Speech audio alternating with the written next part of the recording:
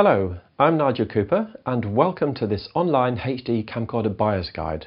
Throughout these guides I'm trying to give you an overview as to the camcorder's market, the kind of productions they're suitable for, any unique features a camcorders might have, the media it records to and of course the price.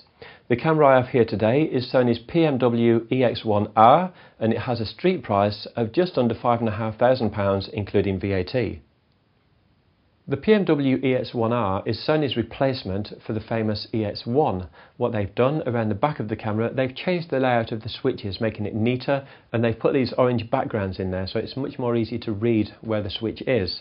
Also, before on the EX1, they had the HDMI and the AV outputs along the bottom here underneath the handle, but now on the EX1R, they've actually moved them around the back, making them much more easy to get to. The hand grip on the side has also undergone a few modifications in shape to make it much more ergonomically friendly. Like the EX1, it still rotates so you can actually put it into any position you want, making it much easier to get a nice angle if you're holding the camera at lower angles. The picture quality produced by the EX1R is absolutely incredible. This is thanks to three really good ingredients. Firstly, on the front of the camera, we've got this really good quality half-inch Fujinon lens. We've got a 35 megabits variable codec, which is superior to the 25 megabits constant found in HDV. And in the EX1R, we've also got three really good quality half-inch CMOS sensors. In fact, the EX1R is so good, Discovery Channel HD have actually given this camera a silver status, which means in certain HD productions, footage shot on the EX1R is perfectly acceptable. And in the UK, the BBC have also adopted the EX1R for certain HD productions. So who exactly is Sony's EX1R aimed at? Well, in my opinion, with the half-inch lens, the 35 megabits codec and the half-inch sensors, and the fact that it's already been used by broadcasters for television applications, I would say the EX1R is perfectly suited to independent documentary filmmakers, as well as low-budget independent feature filmmakers. But corporate video producers will also like the EX1R, especially if they want to produce a better quality program for their corporate clients. Music video producers will also love the EX1R because of its broadcast quality, that will lend itself perfectly for music television. In fact, the EX1R could pretty much be used by anybody. If you're currently using a Z5 or a Z1, for example, and you want to up the picture quality to a more broadcast standard, then the EX1R should be high up on your list. Let me now run through some of the unique features that the EX1R has. There's uncompressed linear 16-bit audio, the EX1 also has overcrank and undercrank, making slow motion shots achievable. It also has a time-lapse feature. The Sony EX1R records to SxS cards, but with the use of an adapter, you can also record onto regular SDHC cards or Sony's own memory sticks.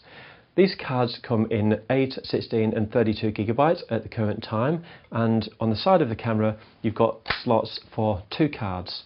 A 16 gigabyte card like this one will give you 50 minutes of recording time. So with two cards inserted into the camera, you've got a continuous 100 minutes. If you have two 32 gigabyte cards, that would give you a continuous 200 minutes recording time. The cards are in fact hot swappable, so when slot A fills up, the camera will automatically start recording onto card B, but when card B is full, the camera won't go back and start recording over card A. Your media is protected at all times. Although the lens on the EX1R is built in, it's got some really unique features. It works just like a professional broadcast lens in that it has a servo aperture ring at the back. In the middle here, you've got your zoom controller with end stops, and at the front, you've got a really unique focus ring that can either be used in full autofocus like this, or if you push it back, it will actually go into manual mode complete with end stops.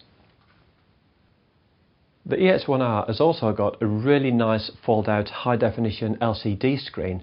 This really is incredibly good and is very easy to view outdoors even in bright sunlight. But if you don't want to use the LCD screen it can be folded away, tucked underneath and you can opt to use a viewfinder at the back of the camera instead. Along the side of the EX1 you've got all the usual controls that you would expect to find on the camera for iris, macro, you've got auto and manual focus controls, you've got this built-in ND filter select switch with two choices, you've got zebra, peaking and other auto controls, and you've got your usual gain and white balance zebra peaking controls, as well as various other controls on the camera. On the top of the camera here, you've got various playback controls for when you're in thumbnail mode. Around the back of the camera you'll find various controls for audio as well as the picture profile and menu control. The EX1R has also got a HDMI output. This is really useful for attaching low budget HDMI monitors. They can then be attached onto the top of the handle here so you can have a really nice large LCD screen for monitoring purposes. Just below the HDMI, we've also got a HD SDI output, which means you can attach a higher quality recording device and come out of this uncompressed in 422 colour space and record at 100 megabits. Sony's PMW EX1 has been around for a few years now and I was a big fan of it when it came out. The EX1R improves on it even more in terms of layout and ergonomics. The picture quality produced by the EX1R is absolutely incredible. As I've already mentioned, the Discovery Channel have given this camera a silver status and the BBC in the UK are using them on a regular basis. So if television production, such as independent documentary filmmaking, is what you want to do, then you should take a long hard look at the Sony PMW EX1R. Thank you for watching.